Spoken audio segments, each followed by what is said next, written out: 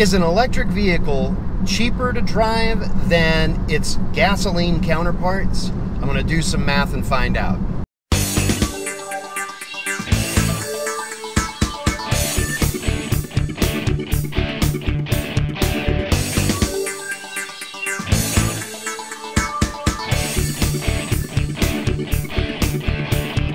electric vehicles or battery electric vehicles like this little Fiat 500e. Uh, there's a lot of love out there in the online community for these vehicles. There's a lot of hate out there for these vehicles in the online community as well. For as many people who absolutely love the idea of going electric, there are people who are going to call them junk, who are going to just say since it won't work for them, they're useless and nobody should use them. And I saw a comment that said gasoline is cheaper. So I want to compare the cost per mile of this specific EV with my other internal combustion engine vehicles that I have at home. I'm also going to compare this Fiat 500e with a comparable Fiat 500, its actual internal combustion engine or ICE counterpart.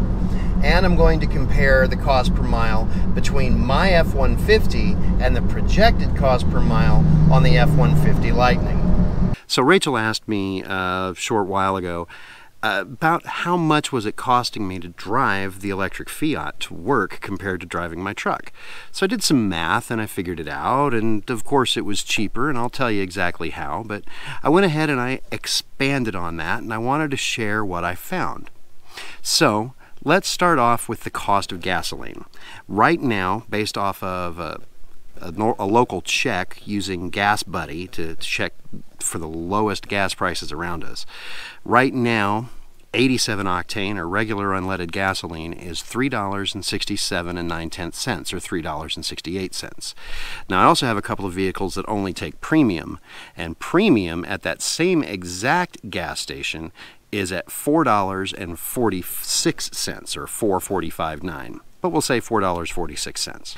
I have normally been commuting in my Ford F-150 pickup truck. It's a 2013, it's the V6 engine, and it gets right now, according to the onboard trip computer, a fuel economy rating of 18.6 miles per gallon. Filling that vehicle up at $3.68, I figured I'd try to find out the cost per mile. Well, if a gallon of gas costs $3.68. I can divide that by my fuel mileage of 18.6, and that will tell me how much each mile I'm driving costs me in gasoline. And at that fuel economy, at that gas price, my truck costs me 19.78 cents per mile, or roughly 20 cents per mile. The truck had been getting 19.2 miles per gallon, but the computer got a little thrown off when we did a little towing, which takes it down to 19 cents. So we'll use that 19 cents figure for how much the truck costs me to drive. What about Rachel's car? It's sitting right here behind us, the 2019 Subaru Crosstrek. Well, we recently took that one on a cross-country road trip, and one of the best fuel mileage runs that we had on that cross-country road trip was 28.3 miles per gallon. It had a little bit of, you know, elevation climb and all of that. So if I take $3.68 and I divide it by 28.3, that little Subaru costs us 13 cents per mile to drive. Then there's my motorcycle, a 2020 Indian Challenger that takes premium gas only. It won't take anything lower than 91 octane. And right now, that's $4.46 a gallon. According to the onboard computer, on my motorcycle, it gets 41 miles per gallon. So if I divide $4.46 by 41, I get 10.87 cents per mile, or rounded up, 11 cents per mile is how much my motorcycle costs. So the truck is 19 cents per mile, the Crosstrek is 13 cents per mile, my motorcycle is 11 cents per mile. Then there's Rachel's motorcycle, which is a 2020 Honda Rebel 500. Now, we haven't been keeping track of the fuel mileage on Rachel's motorcycle, but I went to Fuelly, which is a website that people report their average fuel economy, and according to Fuelly, it's 62.5 miles per gallon for a 2020 Honda Rebel 500. Now, if I take the price of regular unleaded at $3.68 and I divide it by 62.5, I get 5.88 cents per gallon, or rounded up, 6 cents per gallon on Rachel's bike. Problem is, when we're riding together, we want to fill up without running the card twice. And since my bike takes premium, we put premium in the Rebel as well. It's not going to hurt it. So we're really we're paying 446 for gasoline in the Rebel.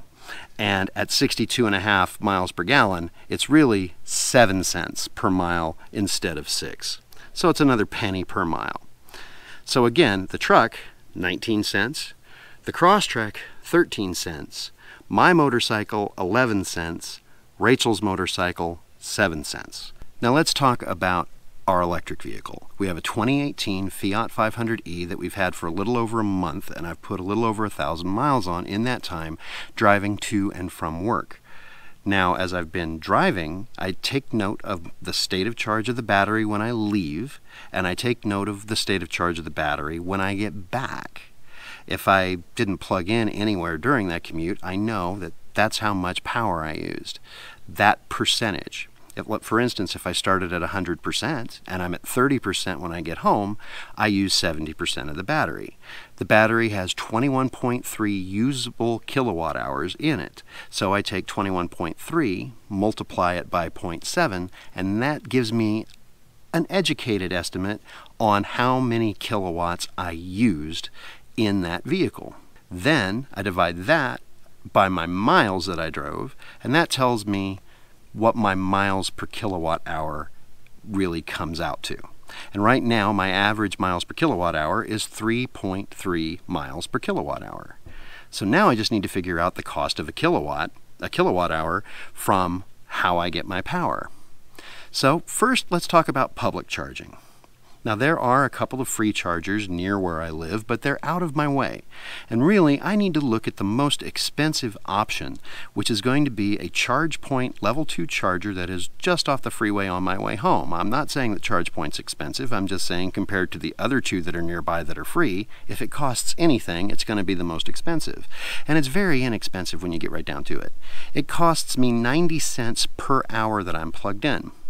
Now, our Fiat is not a road trip EV. It's not capable of it. The fastest it can charge at is about 6.7 kilowatts. And that's what I can get in about an hour of pl being plugged in at that ChargePoint station. If I say I get 6 kilowatts in an hour, it makes the math easy, and I can divide 90 cents by 6, and it costs me 15 cents per kilowatt at that charger. I then take that um, cost per kilowatt 15 cents.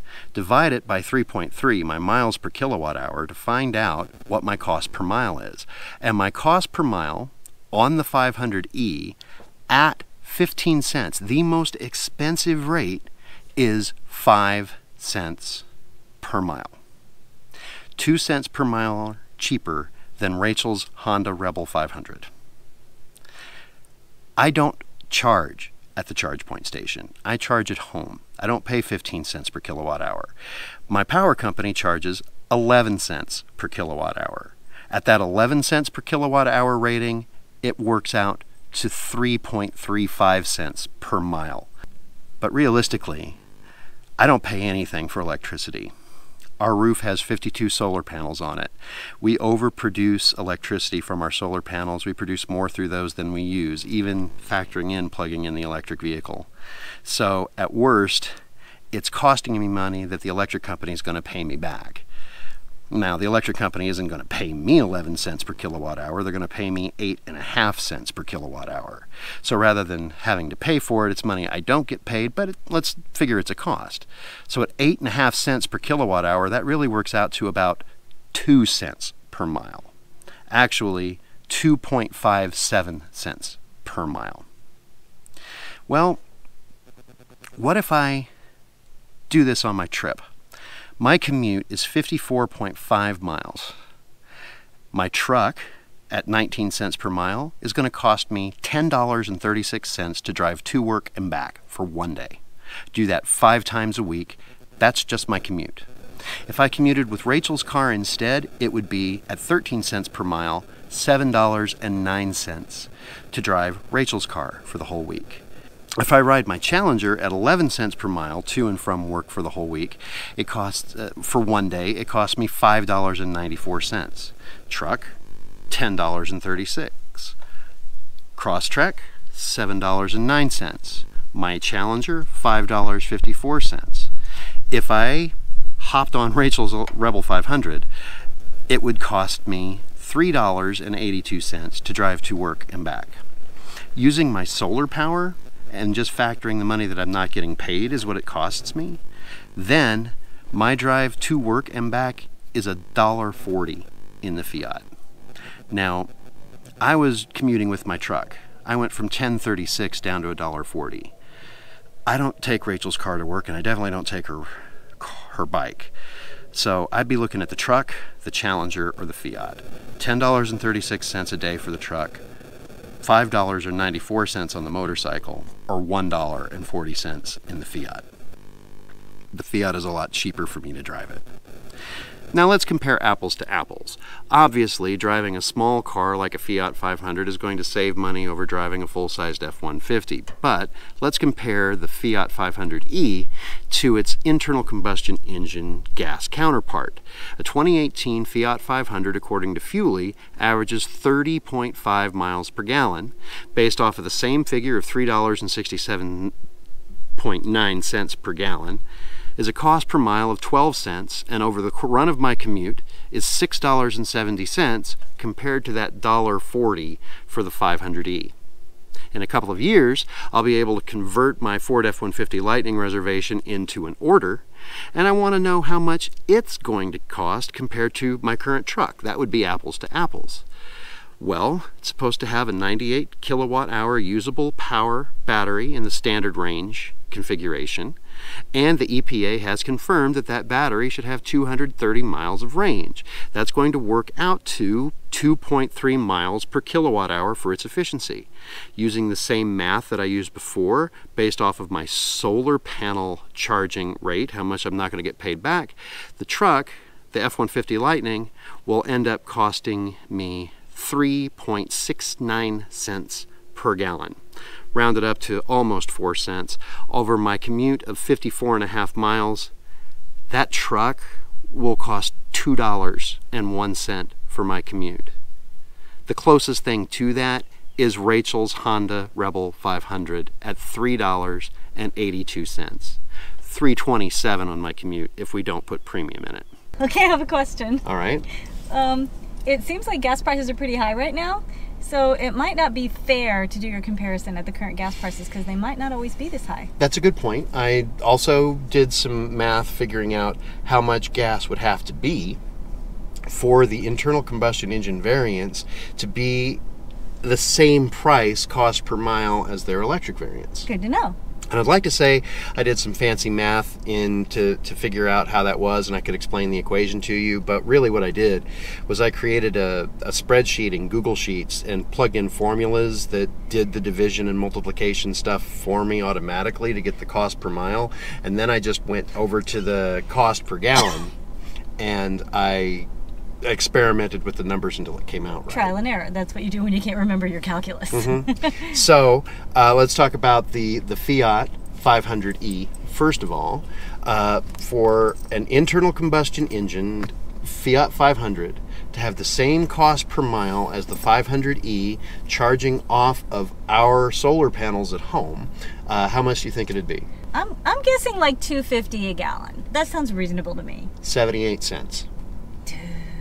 It would have to be 78 cents a gallon for the Fiat 500 gasoline powered internal combustion engine to have the same cost per mile as the 500e. And if gas prices went down that low, I gotta think I gotta think that electricity prices would go down also. Oh, that's I true. figured that out. At, if gas prices went down and electric prices stayed exactly the way that they are now, Which is probably with the high cost of energy that it is now. Yeah. For the F-150 Lightning compared to my F-150 that's sitting in our driveway right now, Yeah. how much would gas have to go down to for that one to be a wash? Well, if you said 78 cents before, I'm going to guess maybe about the same. 68 cents a gallon. Dang. The the electric F-150 uh, is so much more efficient than the V6 2013 F150.